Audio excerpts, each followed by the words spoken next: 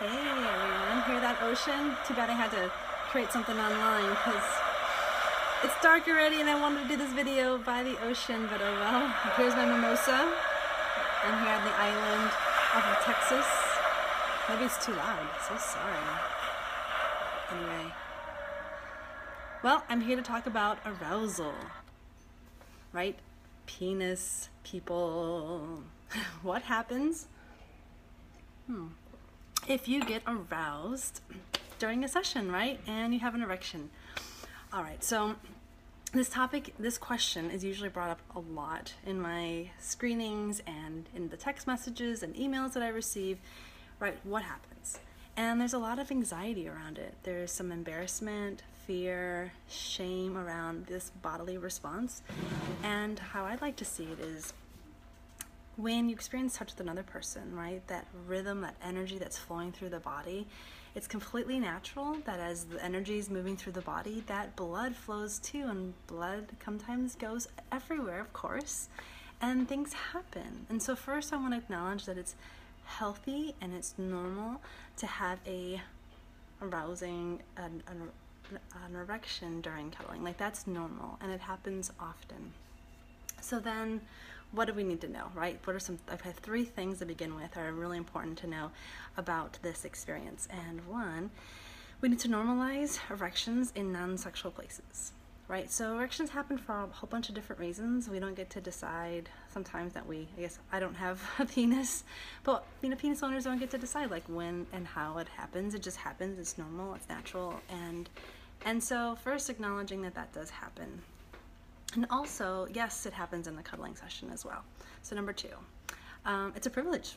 I think that people that get erections, they should, they should, but you know, it, it'd be nice if it was celebrated. Like, it's a good thing, it's a healthy response because not all penis uh, owners have them. And I do have clients that don't get erections, and it's a really difficult thing for them to experience. So, and I also want to say a little bit about that. Those who don't get erections as often or it's more difficult, I think they have an, a really unique opportunity to learn how to connect with other people in new ways because they don't get to depend on their penis to make things happen for them. And they have an easier, I think, transition to cuddling because they've learned how to use the rest of their body, their senses, their touch to be able to have that experience with another person. And number three, we're conditioned. So every time you receive touch in your adult life, if you kind of anticipated sex was going to come, then yeah, you would get an erection. So over the years, if you've been doing that for 5, 10, 20, 30, 40 years, every time you're touched, you're, you know sex is coming, then you've conditioned your body to expect it, to hope that it, here it is, it's coming, right? Sex is coming, intercourse or whatever it is that you're hoping for. So like you've built in, you've trained your body to, have this response. And if you're hoping to come into a cuddling session and not have that response, well, I, I fear that that's going to be really difficult. And I understand that. I understand that, you know, if you condition your body and train your body to have a an erection um, during touch, then it's going to take some time to kind of break that down and to retrain your body to have a new response. And then some people will say, well, I have to. I have to have an, you know, that's, that's, I can't help it. And I, I know this is probably not the, the perfect response to this, but I do say, well, you do know how to receive touch without getting an erection. And they're like, no, no, I can't. And I'm like, yes, you can. Because if your mother or sister or some family member were to touch you, you to get an erection. And they're like, oh, no, of course. Well, so yes, it's possible. It's just, again, the context, of course, and I know that. But so there's a, there's a possibility to learn to receive touch with, uh, without that arousal. So I've had another question that's been asked, are there cuddle positions that are sexual? And I say no. There's no cuddle position I would say is explicitly sexual that is completely, you know, off the books.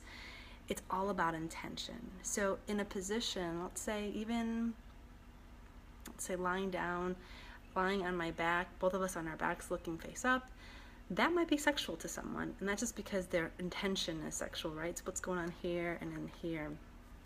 And so, um, let's say someone's right on top of me, the full body, head to toe, we're touching, and and they're you know they're really connecting with what's going on inside and connecting with their feelings, and getting that deeper relaxation, that might not be sexual. But someone else, of course, you know, every time they're on top of another person, they have a sexual response. Well, then yeah, that's going to probably be a sexual experience for them. So there's no sexual position that's sexual. It's just again what's going on here and here that makes the biggest difference. And of course, this is a clothed experience, just to remind everyone out there that it's really important that you know that yes, tops and bottoms are on at all times. And I've learned not a different ways how that's really important.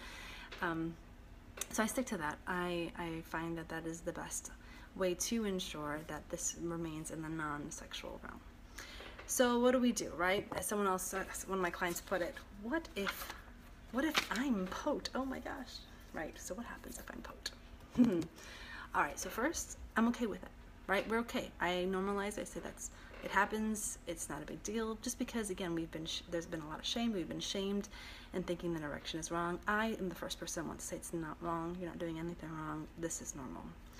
Number two, what do I do that happens? I look at the rest of the body. I, you know, I get to, to listening to them. I listen to their bodies. I listen to how they're breathing. I watch their hands. If their hands get crabby, if their body gyrations change, if anything else happens with that erection, then I, then I, you know, it's my time to intervene and, and ask some questions. But if it's just an erection and everything stays the same, I leave it alone. I don't bother with it. I ignore it. But again, I'm looking for hand grabby, breath changing, body, all of that. If that shifts, then that's when I, I'll say something. And what does that look like? Um, I might say something like, you know, how is it that we can get into a deeper relaxation?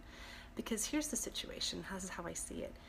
If we are, um, if I see some arousal happening and some like, and let me encourage that, if we move in that direction, what ends up happening is that's going to grow and grow and grow, right? It's like we're feeding a, a, monster. Like we're feeding, and it's a good thing. It's a great monster. It's a happy monster, but we're feeding it.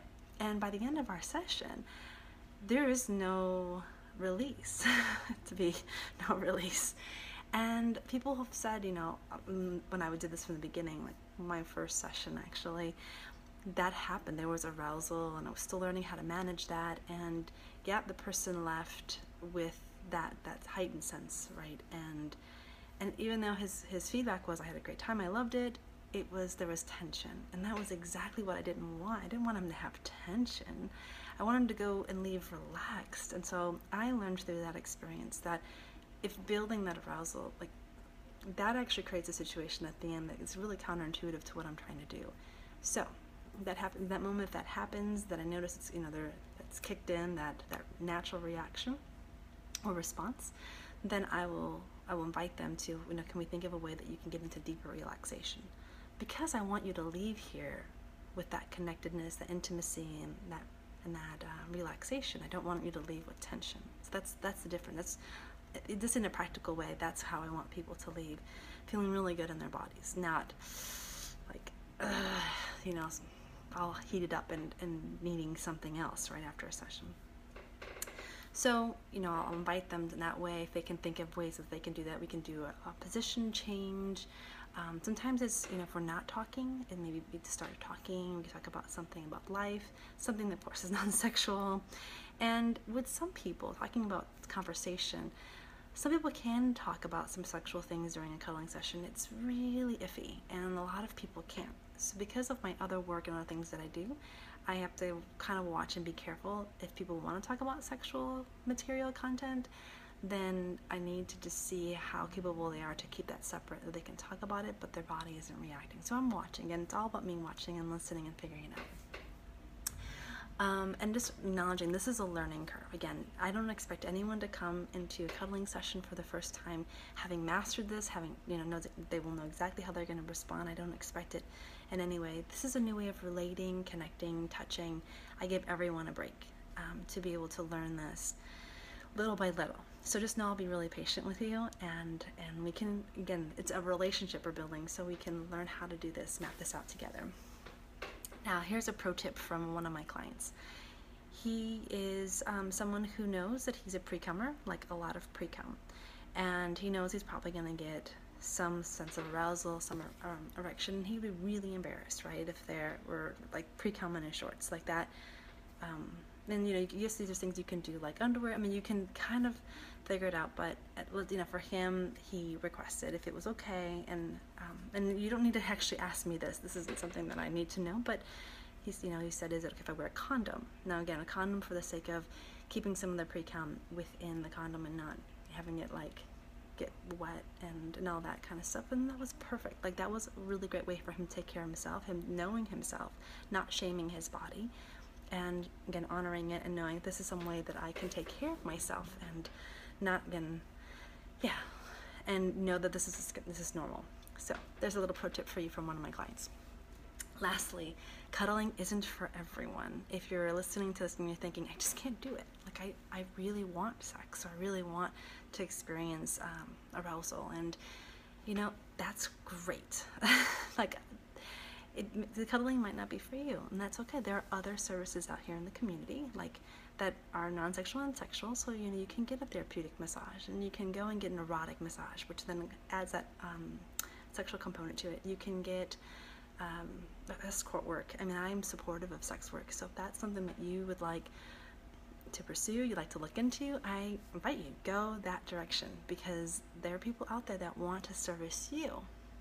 And I am looking for that client who's my sweet spot client, who is the one that's, you know, really understands what calling is about, really need that need that touch.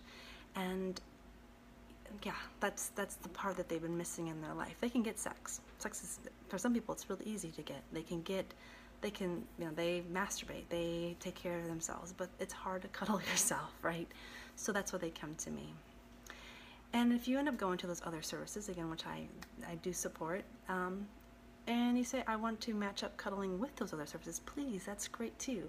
There's no reason just to have a one type of touch service that you that you seek out. So go to your massage one week and then come to me the next week, or go to your erotic massage um, or your escort person, and then come and see me. Like we can, I think it's great that we all work together and provide the best experience, life experience for you. So, how do you know if cuddling is right for you? Right?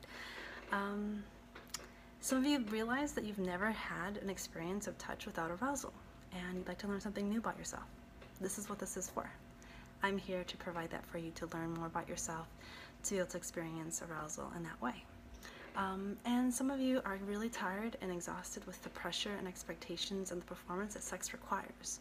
It's a lot. I'm, I'm a sexual being and I have my partner and I know how much it involves, right, to be able to be healthy sexually and to express my sexuality and sex in that way. And there's a lot on the line there.